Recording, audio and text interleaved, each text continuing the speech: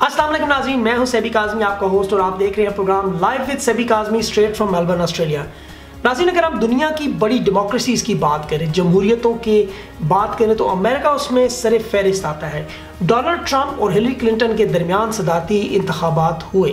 اس میں اخلاقیات سے گری باتیں ہوئیں، ملک دشمنی کی باتیں ہوئیں، الزامات لگے کہ ملکی سیکیورٹی اور غداری تک باتیں گئیں۔ رشیا کی مدد ہیکرز کی مدد فیک نیوز اور جو الزام آپ کے ذہن میں ذاتیات پر آتا ہے، وہ اس الیکشن میں ایک امیدوار نے دوسرے پر لگایا۔ معاشرہ تقسیم ہوا، ہم نے دیکھا ڈونلڈ ٹرمپ جیت کے اور ان کے جیتنے کے بعد ہلری کلنٹن نے ان کو مبارکباد دی اور وہ امریکہ کی اس تصویر سے آؤٹ ہوگی، جس کا وعدہ ڈونلڈ ٹرمپ نے کیا کہ چار سے پانچ سال وہ اب ڈیلیور کریں گے۔ یہ تو وقت بتائے گا وہ ڈیلیور کرتے ہیں یا نہیں، لیکن ہلری کلنٹن نے ایک اچھی اپوزیشن کا ثبوت دیا۔ دوسری جانب اگر آپ اپنے ہمسایہ ملک ہندوستان میں دیکھیں تو بی جے پی اور کانگریس کے درمیان یہی سچویشن تھی۔ اب اگر ہم پاکستان کی سچویشن اس وقت دیکھیں، جب سے الیکشن ختم ہوئے ہیں، ہر روز یہ کھچڑی پکتی نظر آ رہی ہے۔ پاکستان تحریک انصاف کے پاس بہت بڑے چیلنجز ہیں۔ لیکن اگر ہم الیکشن سے کچھ عرصہ پہلے تک کی انفارمیشن دیکھیں، تو کوئی جیپ کو جتا رہا تھا، تو کوئی کہہ رہا تھا کہ کوئی خلائی مخلوق ہے اس کے پیچھے، کسی کو آزاد امیدواروں کا ایک بڑا گروپ نظر آ رہا تھا، تو کسی کو لگ رہا تھا کہ عمران خان کی سیاست ختم۔ لیکن جو ہوا، جو حالات ہوئے، آپ نے دیکھا۔ ہم نے دیکھا کہ سات سے زاہد پارٹیوں کے سربراہ جن میں مولانا فضل الرحمان سراج الحق، آفتاب شیر پاؤ، مصطفیٰ کمال، شہباز شریف، محمود اچکزئی اسفندیار ولی خان اور یہ سب لوگ ساتھ کے ساتھ پاکستانی سیاست سے ہارنے کے بعد آؤٹ ہو گئے۔ ابھی جو لیٹسٹ خبروں کے مطابق پشاور سے پی ٹی آئی کے تمام نیشنل اسمبلی کی سیٹس رکھی جا رہی ہیں۔ سوائے بنو کے، جہاں اکرم دورانی آ رہے تھے۔ اب مولانا فضل الرحمان کی کوشش ہے وہاں سے الیکشن جیت کر کسی طرح اسمبلی میں پہنچیں، لیکن ایسا ممکن ہوتا نظر نہیں آ رہا۔ گرینڈ اپوزیشن جس انداز میں بنی، اس پہ ایک محاورہ یاد آتا ہے کہ پنڈ ابھی بسا نہیں، اچکے پہلے آگے ابھی گورنمنٹ فارم نہیں ہوئی، ابھی دور دور تک اس کے ابھی چیف منسٹرز کے نام نہیں ڈکلیئر ہو رہے۔ اور اپوزیشن کو ابھی سے ہی واویلا مچانے کا شور مچ گیا۔ ایک بہت بڑا گرینڈ اپوزیشن اے پی سی کے نام سے جو اجلاس ہم روزانہ دیکھتے ہیں یہ مخالفت میں شرعی طور پر شیری رحمان کی قیادت میں اب متحد نظر آ رہے ہیں۔ اس وقت سچویشن اس طرح کے آزاد امیدوار جوک در جوک پی ٹی آئی کی طرف جا رہے ہیں۔ یہ کوئی ان کامن بات نہیں، پاکستانی سیاست میں ہمیشہ سے آزاد امیدوار کا جو جھکاؤ ہے وہ ہمیشہ جیتی ہوئی پارٹی کی طرف، جس طرف حکومت بنتی ہے۔ کیونکہ ان لوگوں نے اپنے حلقے میں عوام سے وعدے کیے ہوتے ہیں اور اپوزیشن ان وعدوں کو پورا کرنے میں ان کی مدد نہیں کر سکتی۔ اسی لیے ان کا جھکاؤ نیچرلی طور پر حکمران پارٹی کی طرف ہوتی ہے۔ پی ٹی آئی کے پاس بہت سارے چیلنج ہیں۔ عوام کے اعتماد پر اترنا سب سے پہلے وہ وعدے پورے کرنا۔ کیونکہ اچانک پاکستانی عوام خاص طور پر پنجاب میں ایک خاص طبقے کو، خصوصاً شعور بہت جلدی آ گیا۔ تیس سال حکمرانی میں دبے رہنے کے باوجود اب اچانک وہ تیس دنوں میں، جو کہ ابھی گورنمنٹ بنی بھی نہیں، وہ ڈالر کا حساب اور وہ پیٹرول کی پرائسز اور یہ چیزیں وہ ابھی سے ہی عمران خان سے ایکسپیکٹ کر رہے ہیں کہ وہ ان کو فوراً ٹھیک کر دیں۔ تو ان لوگوں کے لیے میرا یہ مشورہ ہے کہ ابھی آپ تیل دیکھیں اور تیل کی دھار دیکھیں، تھوڑا صبر کریں کہ آپ نے تیس سال بھی تو صبر کیا ہے۔ اگر تیس دن اور صبر کریں گے تو کوئی فرق نہیں پڑے گا۔ سب سے اس سے بات اگر بڑھائیں ہم تو ایم کیو ایم نے ایک شعوری فیصلہ کیا، پڑھی لکھی قیادت نے، کراچی کی عوام۔ ہم جانتے ہیں کہ پاکستان کے سب سے پڑھے لکھے لوگ ہیں، سیاست کو بہت اچھی طرح سمجھتے ہیں، تبدیلی کا مزہ چکھ رہے ہیں، اور وہ ان کی قیادت نے بھی ابھی یہی فیصلہ کیا کہ پاکستان تحریک انصاف کے ساتھ جائیں۔ آج میرے ساتھ پروگرام میں علی رضا عابدی جو کہ ایم کیو ایم پاکستان کے کینڈیڈیٹ تھے، عمران خان صاحب سے ہارنے کے باوجود ان کی سوچ کیا ہے؟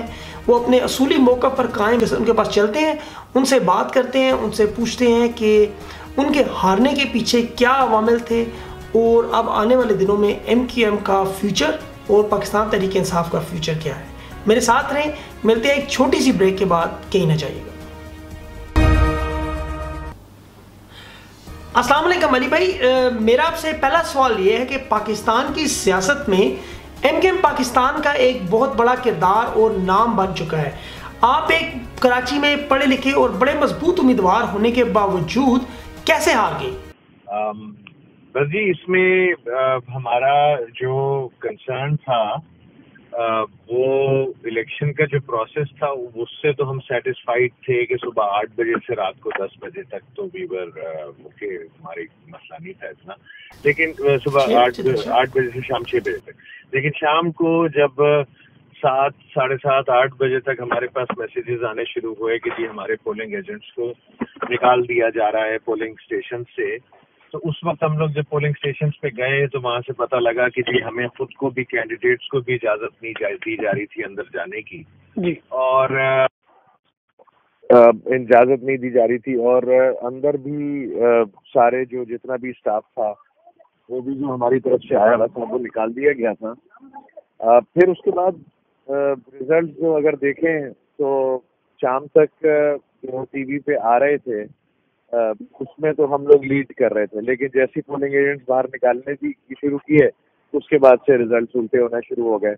اور جو بھی ون تھی، وہ اس کی شروع ہو گئی ہماری اپوزنگ پارٹیز کی۔ یہ صرف میرے حلقے میں نہیں ہوا یہ کراچی لیول پہ ہوا ہے اور بلکہ سندھ میں بھی پنجاب میں بھی ڈفرینٹ جگہوں پہ نا جی۔ سب کی تقریباً یہی کمپلینٹس آ رہی ہیں اور انہی کمپلینٹس کی وجہ سے ہم لوگوں کو آبجیکشن ہے کہ یہ جو ریزلٹس ہیں اور یہ جو الیکشنز ہیں ان کو ڈیورنگ الیکشن پروسیس تو مسئلہ نہیں تھا لیکن آفٹر الیکشن کو مینج کیا گیا ہے اچھا علی بھائی آپ کے خیال میں عمران صاحب کی کرشماتی شخصیت charismatic personality M K M کا بائیکاٹ کا اعلان یا تبدیلی واقعی کراچی میں آ گئی ہے؟ میں یہ ساری چیزیں ماننے کو اس وقت تیار ہوں گا، جس وقت یہ مجھے بتا دے گا کوئی کہ جی میرے پولنگ ایجنٹ کے سامنے کیوں نہیں گنتی کی گئی؟ اب اس میں کوئی بھی انالیسس کیا جا سکتا ہے کہ بوائے ہو گیا یا پھر تبدیلی آ گئی یا پھر ہمارے لوگوں نے عمران خان کے کرزما کو دیکھ کے ووٹ دے دیا۔ یہ سب سیکنڈری باتیں ہیں۔ پہلی تو میرا ایشو ہے کہ میرے پولنگ ایجنٹ کے سامنے گنتی نہیں ہوئی، تو اس کی وجہ سے جو بھی لیڈ ملی ہے، وہ سب کچھ مینجڈ ہے۔ اور اس مینج ہونے کی وجہ سے یہ بھی کراچی میں جو سارے ریزلٹس الٹے سیدھے کر کے چھ سیٹیں صرف ہمیں دیں، باقی چار سیٹ سوری ہمارے پاس آئی، باقی ساری پی ٹی آئی کو مل گئی جس کی کوئی اتنی خاص کیمپین بھی نہیں تھی۔ جس کا اتنی ایفرٹس بھی نہیں تھی اتنا گراؤنڈ پہ آرگنائزیشنل سیٹ اپ بھی نہیں تھا۔ لیکن ڈسپائٹ آف دیٹ وہ مینج کرایا گیا۔ اچھا۔ رات کو نو بجے آٹھ نو بجے کے بعد۔ اچھا علی بھائی الیکشن ہارنے کے بعد ہم نے دیکھا ایک ٹرینڈ ہے کہ داندی کے الزام لگتے ہیں ہارنے والا کبھی بھی نہیں مانتا کہ وہ ہار گئے کیا آپ کا بھی یہی موقف ہے یا آپ کے پاس کوئی ایسے ٹھوس ثبوت ہیں جو آپ دکھا کر عوام کو مطمئن کر سکیں کہ آپ کے ساتھ واقعی زیادتی ہوئی ہے؟ جی بے شک یہ ضرور ہوتا ہے کہ لوگ جب ہارتے ہیں تو یہی کہتے ہیں، داندلی ہو گئی یا داندلی نہیں ہو گئی۔ لیکن اس دفعہ اگر دیکھا جائے تو پاکستان بھر سے ایک جیسی کمپلینٹس آ رہی ہیں کہ پولنگ ایجنٹس کو نکال دیا گیا۔ اب بہت ہی بلیٹنٹ طریقے سے یہ کام کیا گیا ہے اور جو پروف ہیں یا پھر جو بھی چیزیں ہیں وہ میرے خیال میں آہستہ آہستہ سامنے آ بھی رہی ہیں۔ کہ جہاں جہاں ریکاؤنٹنگ ہو رہی ہے، وہاں پہ پی ٹی آئی کے جو نامینیٹڈ یا الیکٹڈ لوگ تھے وہ لوگ ڈسکوال وہ لوگ ہار رہے ہیں اور دوسری پارٹیز جیت رہی ہیں اس میں۔ اور اسی طرح اب آگے ایک فورم آئے گا election commission of Pakistan tribunals constitute کرے گا۔ تو ان ٹریبیونلز میں ہم لوگ پٹیشنز ڈالیں گے۔ ٹریبیونل سے اگر ہمیں سیٹسفیکٹری جواب یا ہینڈلنگ نہیں ہوتی، تو پھر ہم لوگ ہائی کورٹ میں بھی جائیں گے، اس کے بعد سپریم کورٹ میں بھی جائیں گے۔ تو وی ول گو آل دا وے تاکہ اس کی اصلیت ایکسپوز ہو اور عوام کے سامنے آئے کیونکہ پبلک نکلی تھی ووٹ دیا تھا۔ بڑی تعداد میں لوگ نکلے تھے۔ لیکن ان کے ووٹ کو اس طرح اگر اس کی عزت دی جائے گی اور اس طرح رودا جائے گا تو پھر آئندہ اس پہ کانفیڈنس ہی نہیں رہے گا اس پروسیس پہ جو ڈیموکریٹک پروسیس ہے الیکشن کی۔ اچھا علی بھائی ہم نے یہاں پر میلبرن میں بھی سروے کیا جو کراچی کے لوگ تھے بڑی تعداد ان میں تبدیلی کو پسند کر رہی تھی۔ تو آپ کے ہار میں کیا بانی متحدہ فیکٹر ہے یا لوگ واقعی کراچی میں تبدیلی کو دل و جان سے تسلیم کر چکے ہیں؟ دیکھیے میں پھر وہی بات کہوں گا کہ میں یہ بات ماننے کو اس وقت تیار ہوں گا جس دن میرے پولنگ ایجنٹ کے سامنے کاؤنٹنگ کرا دی جائے گی الیکشن کر کے۔ اس جی۔ میں مجھے پتا چلے گا کہ واقعی میں کیا کراچی میں یہ سارے چینجز آئے ہیں کہ نہیں آئے ہیں کہ واقعی میں بوائے کا کوئی افیکٹ ہوا ہے کہ نہیں ہوا ہے۔